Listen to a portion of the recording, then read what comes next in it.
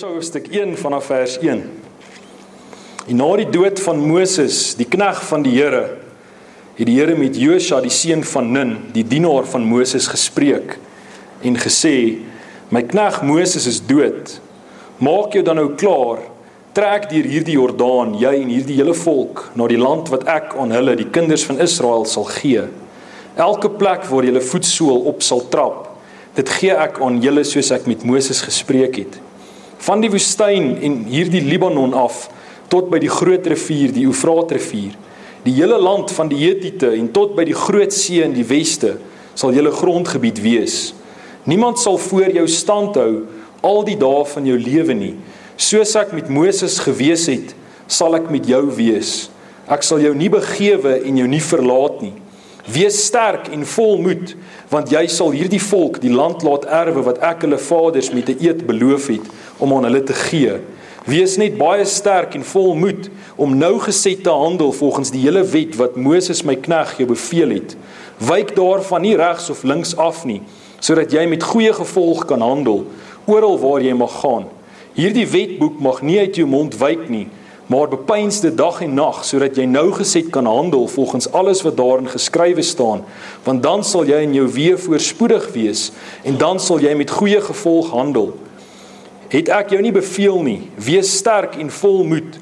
Wees nie bevrees of verskrik nie want die Here jou God is met jou oral waar jy heen gaan. Tot sover. My teksvers vir vanaand is in vers 5 hierdie laaste woorde hierdie B-gedeelte soos ek met Moses gewees het sal ek met jou wees ek sal jou nie begewe en jou nie verlaat nie ons staan aan die vooraand van 'n nuwe jaar 2015 lê voor ons.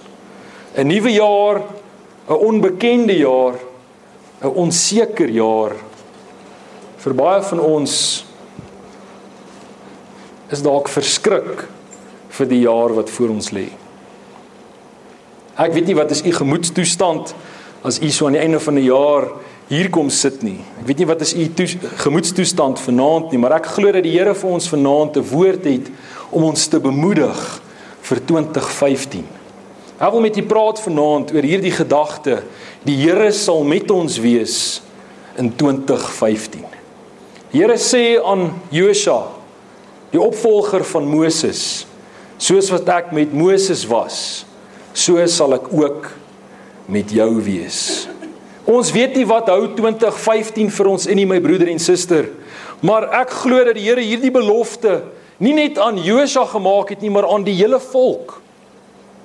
Want kan ek u 'n vraag vra? Wie se volk was dit, my broeder en suster? Was hierdie volk Israel? Was dit Moses se volk? Was dit Josua se volk of was dit die Here God se volk?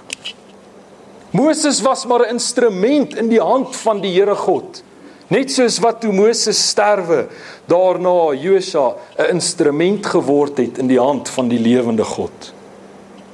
My broeder en suster, as u 'n kind van God is, is hierdie belofte ook vir my en u vir 2015 dat die Here sal met ons wees soos wat hy ook met Moses was. As ons dink aan 2015 en wat dit vir ons inhou.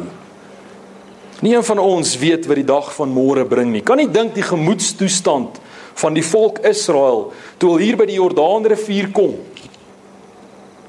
en hulle leier Moses sterf.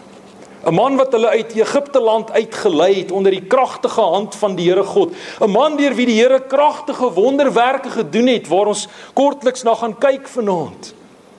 Skielik na 40 jaar se rondswerf in 'n woestyn staan hulle by die Jordaanrivier by 'n onbekende land, 'n onbekende toekoms.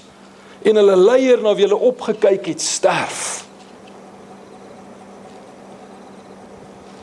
van hulle kon ook gevoel het dradeloos. Na wie toe gaan ons nou draai? Wie gaan nou vir ons sê maar so spreek die Here? Ja, ons staan ook vanaand voor 'n onbekende jaar, 'n onbekende toekoms. Maar weet jy my broeder en suster, Israel was nie alleen nie. Want daar was 'n God in die hemel wat vir hulle gesê het soos wat ek met Moses was, sal ek met jou wees. Ek wil vanaand rondom vier punte stil staan. Hoe was die Here saam met Moses? Want wat beteken dit as die Here vir Josua sê, soos wat ek saam met Moses was, sal ek saam met jou wees? Waaraan het dit Josua laat dink? En ek glo daar sekerlik baie ander punte wat 'n mens ook oor kan praat vanaand, maar om om tyd te bespaar wil ek net by vier stil staan. In die eerste plek glo ek toe die Here vir Josua sê, soos wat ek met Moses was, sal ek met jou wees, het hy besef dat die Here God was in sy krag met Moses. In sy goddelike, almagtige krag was hy met Moses. Dink net aan een voorbeeld, dink maar aan die 10 plaae wat waarvan jy kan gaan lees vanaf Eksodus hoofstuk 7 tot en met Eksodus hoofstuk 12. Hoe dat die Here God 10 plaae stuur oor die magtigste koninkryk van daardie tyd. Egipte was 'n wêreldmag.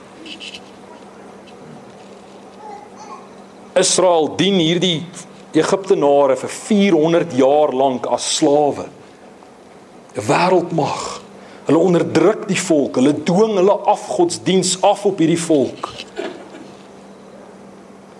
En die Here kom en hy neem Moses en hy lei hierdie volk uit. Maar voordat hy hulle uitlei, bring hy 10 plaae wat hierdie land op sy knieë bring. Hy sink Egipte deur 10 plaae, my broeder en suster, nie deur 'n mens wat sy vinger verroer nie.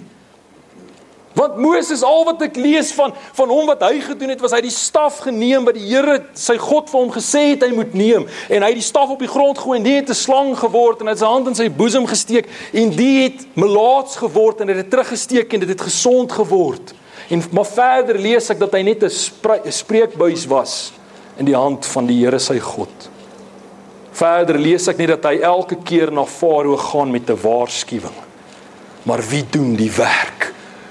Ja, waarlik, die Here was met Moses in sy volle krag. Hy bring 10 plaae en hy sink 'n wêreldmag.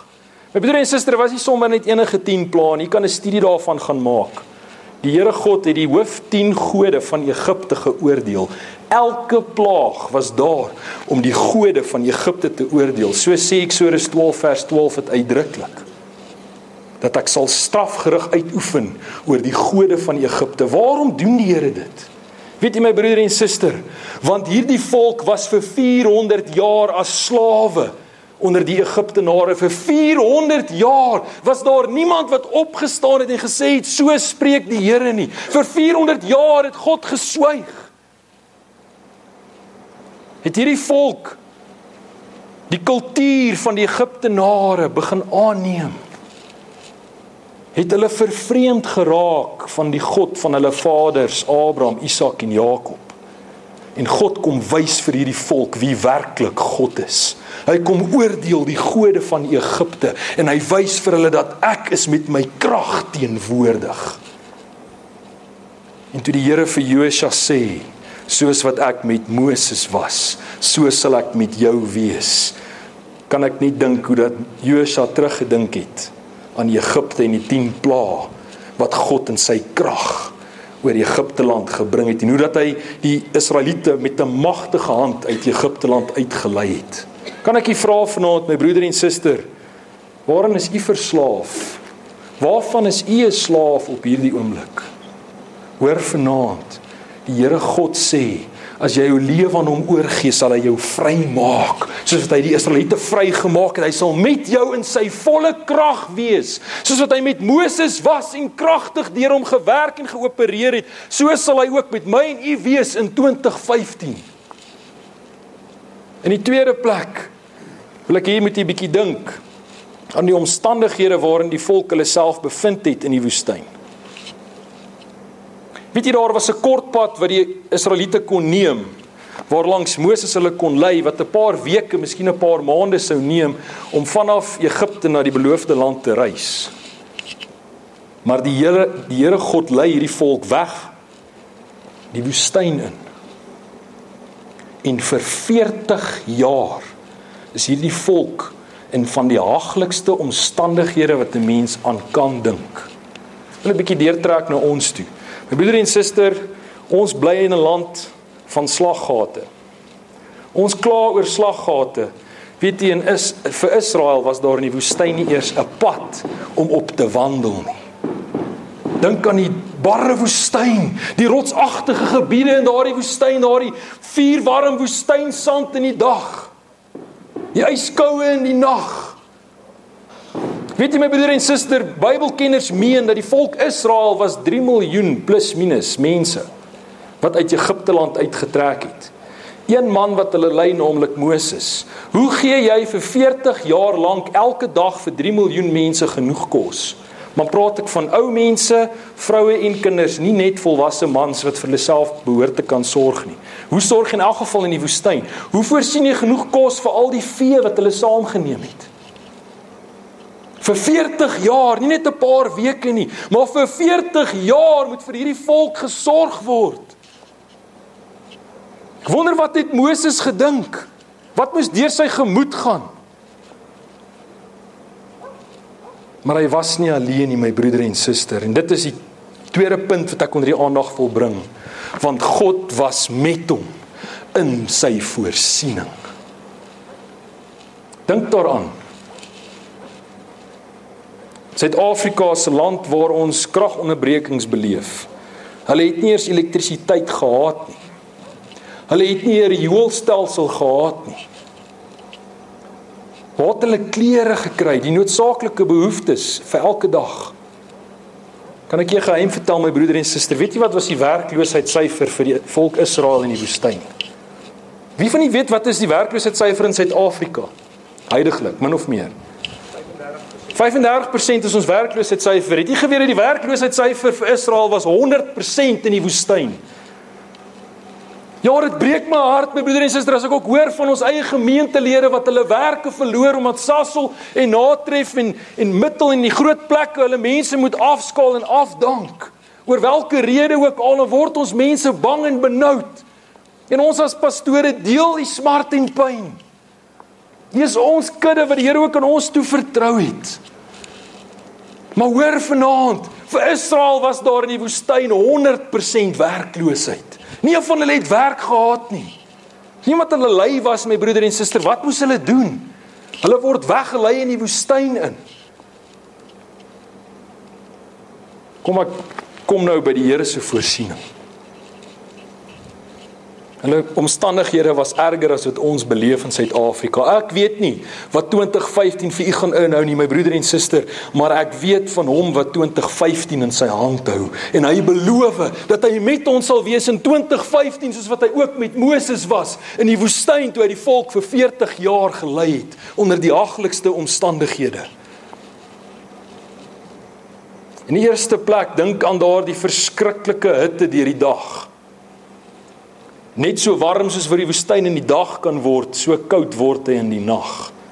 Hulle was vir 40 somers in daardie woestyn en vir 40 winters in daardie woestyn. Maar my broeder en suster, hoor vanaand, Hulle was nie alleen nie want God was met hulle.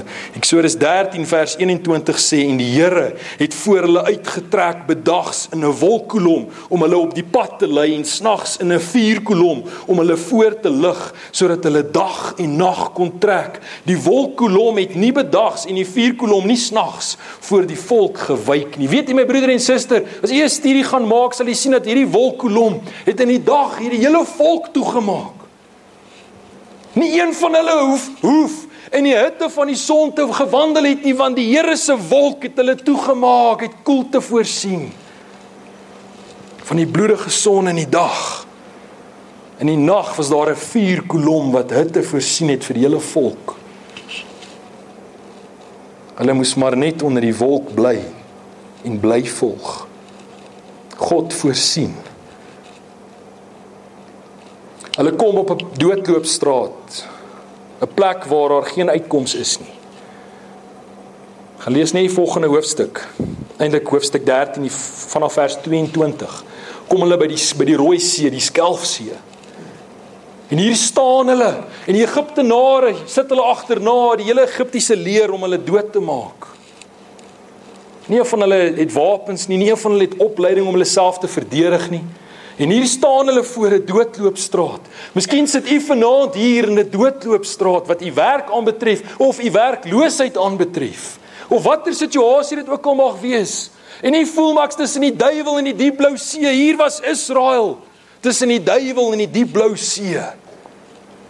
Maar God was by hulle in sy voorsiening en hy maak 'n pad waar daar geen pad is nie. Hy kloof die see. Die Bybel sê dat die dat die dat die golwe, dat die water soos mure aan weerskante was, maar dat die volk op droë grond deurgestap het droë grond my broeder en suster want ons God maak 'n pad waar daar geen pad is nie. Hy sluit deure oop wat niemand niemand kan toesluit nie en sluit deure toe wat niemand kan oopsluit nie. Hoor vanaand as u die Here dien en bly vashou al is jy in watse doodloopstraat hou net vas aan die Here want in 2015 soos wat hy met Moses was beloof hy sal hy ook met my en met u wees en hy sal pad maak waar daar geen pad is nie as een hom vashou want soos wat hy met Moses was in sy voorsiening so sal hy by my en u wees in ons voorsiening. Net 'n volgende hoofstuk hoofstuk 15 lees ons waar hulle kom by bitter water. Mara beteken bitter water. In hierdie woestyn hulle is dors. So bitter water is jy vanaand besig om te drink Miskien is daar bitterheid in jou hart en in jou lewe. Ek weet nie wat in 2014 noodwendig in die lewe gebeur het nie. Miskien kom jy nog in 2015 by bitter water. Maar ek lees daar in hoofstuk 15 dat toe Moses die Here aanroep, het die Here vir hom gesê om 'n stok op te tel en in die water te gooi en die water het soet geword want God is met ons in sy voorsiening. Ons God maak bitter water soet. Glo jy dit vanaand my broeder en suster? Dalk sit jy op die oomblik by bitter water. Hoor vanaand, moenie die Here los nie. Moenie gaan bly lê nie, staan op en dien die Here, want hy het gesê as ek en u hom dien, sal hy met ons wees soos wat hy met Moses was in sy voorsiening en hy sal ook die bitter water in my en u lewe soet maak. Jy almal ken Romeine 8:28. Want vir hulle wat die Here liefhet, werk alles meer ten goeie, ook die bitter water sal hy soet maak as ons hom bly dien, want God sal met ons wees in 2015 ook in sy voorsiening. Die volgende tweeetjies net saamvat. In hoofstuk 16 lees ons waar die volk honger word. En in hoofstuk 17 word hulle weer dors. Wanneer dit deurtrek na ons ekonomiese omstandighede op finansiële gebied gaan dit nie beter gaan met hierdie wêreld nie, maar swaarder. Van ons begin dit alself beleef. My broeder en suster, toe die volk nie kos het nie. Ek het nou vir u gesê, hoe gee jy vir 3 miljoen mense vir 40 jaar lank elke dag kos? Iemand het eendag die berekening gedoen. Ek kan nie eers die getalle onthou hoeveel duisend ton kos jy nodig het om vir al daai mense kos te gee per dag nie. En die volk word honger. Jy moet hoofstuk 16 gaan lees hoe dit die Here vir hulle manna stuur. Die Bybel sê dat toe hulle uitstap uit hulle tent uit in my eie woorde nou, toe lê dit soos dik sneeu, die hele woestyn vol. Die brood wat die engele eet, manna. Bybelkenners meen dit is 'n tipe van 'n soet brood wat in jou mond smelt en smaak soos heuning. Ongekend. Hulle kan dit nie namaak nie want ons het nie 'n voorbeeld daarvan. Maar die Bybel noem dit die brood wat die engele eet in die hemel. Die Here gee vir hulle soveel brood. My broeder en suster, nie net dat hulle net genoeg het om van te lewe nie. Hy stuur nie net brood nie, hy stuur ook vleis. Want die Bybel sê daar was genoeg kwartels elke dag vir die hele volk om vleis te eet. Soveel so dat hulle hulle so versadig geëet het dat hulle begin siek word het daarvan. So so genoeg kos was daar. Nie net die noodsaaklike nie, maar in oorvloed. My broeder en suster, wanneer ek en u nood en behoefte het, as ek en u die Here dien, beloof hy vanaand vir my en u hy sal met ons wees, soos wat hy met Moses was.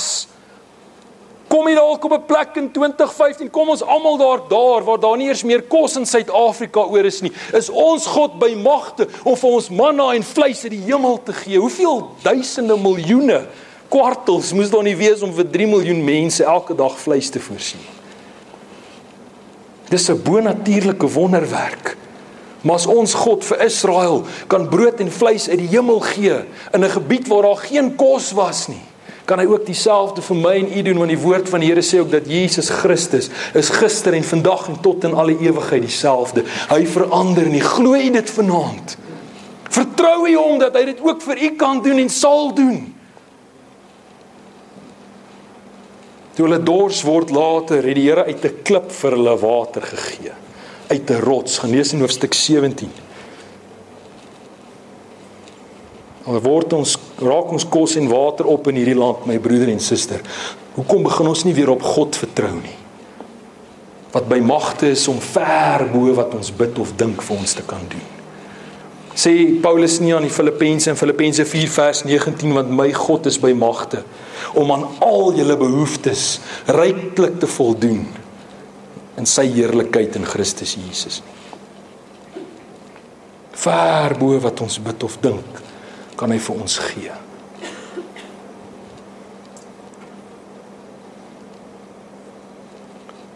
Op die derde punt kom. Is in eerste plek gesien dat die Here sê vir Josua ek sal met jou wees soos ek met met Moses was. Hoe was hy met Moses in eerste plek? in sy almagtige krag. En die tweede plek was hy by hom in sy voorsiening. In die derde plek was hy by hom persoonlik. Wil neem na uh Exodus Exodus 33 Jy kan gerus die hele hoofstuk gaan lees. Dit is net na die volk afvallig geraak het. Die goue kalf gemaak het en die goue kalf aanbid het. Moses was op die berg om die 10 gebooie te kry by die Here. Hy kom af, die volk is besig met afgoderry. Moses gooi die 10 kliptafels stukkend. Die volk het die Here so teleurgestel dat die Here vir Moses sê ek sal nie weer saam met hierdie volk verder trek nie. Voordat ek daarby kom, Kom ons kyk net eers hoe was die Here persoonlik betrokke by Moses. Hoofstuk verskoon tog hoofstuk 33 vers 11 sê dan spreek die Here met Moses van aangesig tot aangesig soos 'n man met sy vriend spreek. Van aangesig tot aangesig soos 'n man met sy vriend spreek. Dis hoe God met Moses was. En wat is God se belofte aan Josua? Soos wat ek met Moses was, so sal ek met jou wees. Hy hoor die stem van die lewende God persoonlik. Moses was 'n vriend van God genoem. Hier sien ons dit. Weet jy dat Jesus noem my en u ook sy vriende? Hoor vanaand, God is nie jou pel nie. God is ons vriend. Dis 'n groot verskil. Jesus wil my en u vriend wees. Weet jy dat hy wil met my en u spreek van aangesig tot aangesig? Weet jy hy maak 'n belofte in Matteus 5 vers 8 sê hy salig is die wat rein van hart is want hulle sal God sien. Ek en u die voorreg my broeder en suster anders as die volk iemand hierdie hoofstuk gaan lees en gaan sien hoe dat wanneer die volk met die Here wou wanneer hulle die, God, die Here God wou raadpleeg, moes hulle na die tent van samekoms gaan wat buite kan die laar opgeslaan is waar Moses gesit het by die tent. Dan moes hulle hulle versoeke aan Moses rig en Moses het in die tent ingegaan en met God gaan praat. En dan moes hy uitkom en met die volk spreek. So het, hy was 'n tusser tussenganger. Ek en u het die voorreg om elke dag in die teenwoordigheid van die lewende God in te gaan met groot vrymoedigheid. Die troon van genade om op die regte tyd gehelp te word. Ons het 'n voorreg om met die lewende God elke dag persoonlik te kan praat. Maak jy nog gebruik daarvan? Verroep ons om net aan in krisistye. Weet jy as die Bybel sê dat Moses was 'n vriend van God genoem. Dan wonder ek om 'n vriend te wees om 'n vriend te wees. Moses was 'n vriend van God genoem. Hy sê nie God was 'n vriend van Moses genoem nie. Dit dit word daardeur ook geïmpliseer natuurlik. Maar wat wat verg vriendskap my broeder en suster? Dit verg dat 'n mens tyd spandeer saam met daai vriend. Anders is daar nie 'n vriendskap nie. Moses was 'n vriend van God. En die Here sê vir hom: "Ek sal persoonlik by jou wees soos wat ek by Moses was." Die Here wil so graag elke dag persoonlik met my en u ontmoet. En ek dink ons het dit elke dag nodig, maar ons mis dit. Ons mis dit. Persoonlik. Ek sal persoonlik met jou wees. Ek haas my. Weet jy dat Moses die Here vertrou met sy hele hart?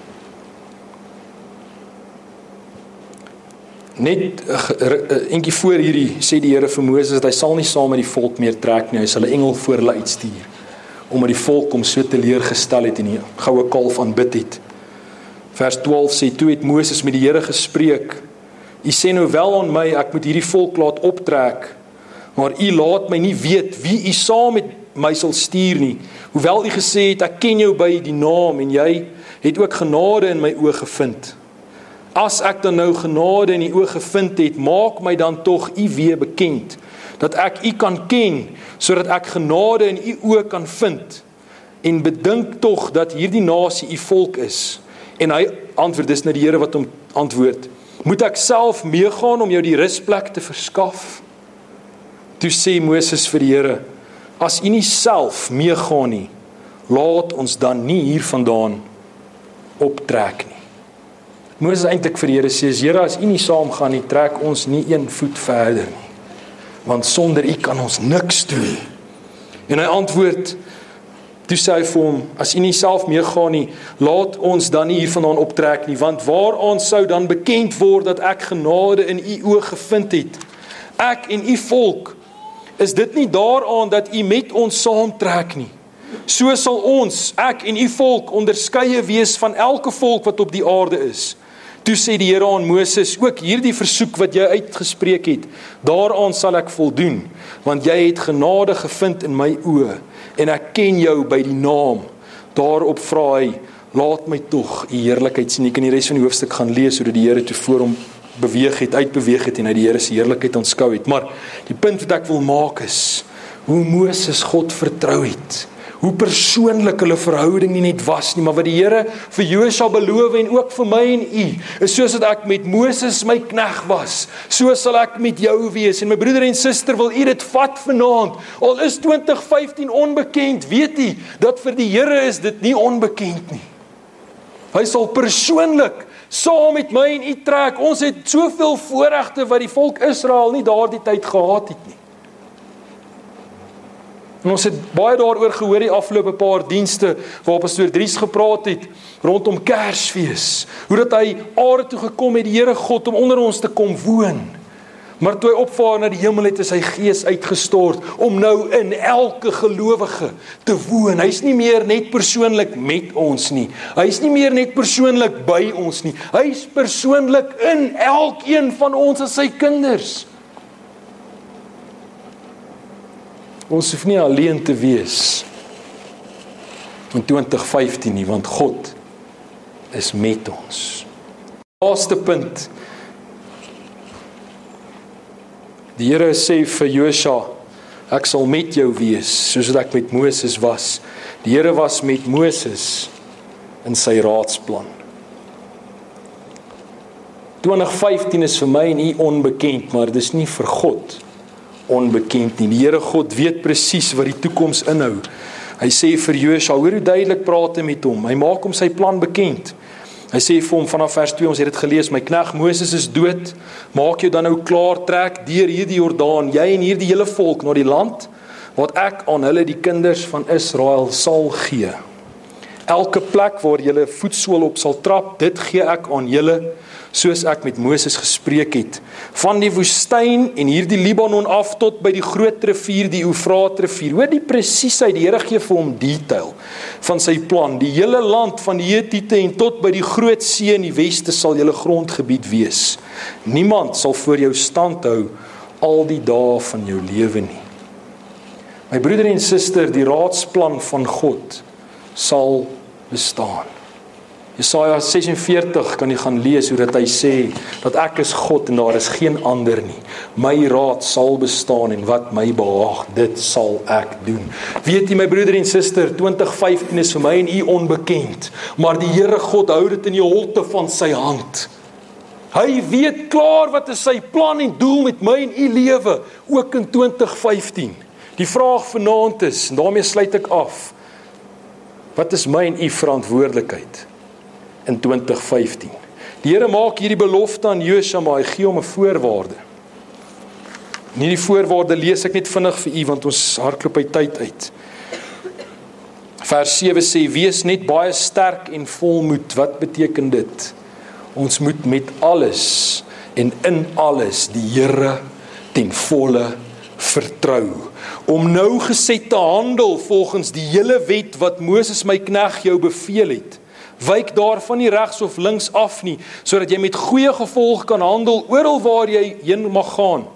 Hierdie wetboek mag uit jou mond nie wyk nie, maar bepeinsde dag en nag sodat jy nou geset kan handel volgens alles wat daarin geskrywe staan, want dan sal uh, jy en jou weer voorspoedig wees en dan sal jy met goeie gevolg handel. My broeder en suster, ons moet die Here met alles vertrou en in die tweede plek moet ons aan sy woord en sy beloftes vashou in 2015. Kom ons neem weer die Here op sy woord.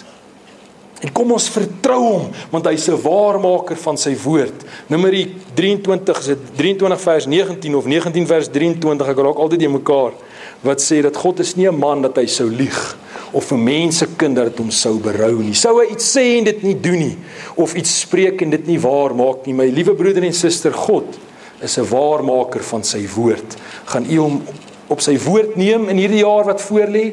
Hoe gaan ek en u 2015 tegemoet? Beangs, bevrees, onseker? Ek sluit af met hierdie vers. Die Here beveel ons. Vers 9 sê: "Het ek jou nie beveel nie? Wees sterk en vol moed. Wees nie bevrees of verskrik nie, want die Here jou God is met jou oral waar jy heen mag gaan." Kom ons sluit ons oë en ons bid saam. Onse kosbare hemelse Vader, Here baie dankie dat U beloof in die woord dat U met ons sal wees. Here U woord bevestig dit in die Nuwe Testament ook in Hebreërs 13 vers 5 waar hy sê dat ek sal jou nie begewe en ek sal jou nie verlaat nie. Here U is met ons elkeen. Dankie dat U ons hand wil vat, sal U gee dat ons in geloof 2015 tegemoet sal gaan, Here, met sterk en vol moed, Here, dat ons U woord sal gehoorsaam ook in 2015 en dat ons u op u woord sal neem op u belofte sal staan. Here dankie dat u beloof het u sal met ons wees in u krag, in u voorsiening, in u volle raadsplan, maar ook persoonlik Here God. Ons eer en loof en dankie daarvoor in Jesus naam. Amen en amen.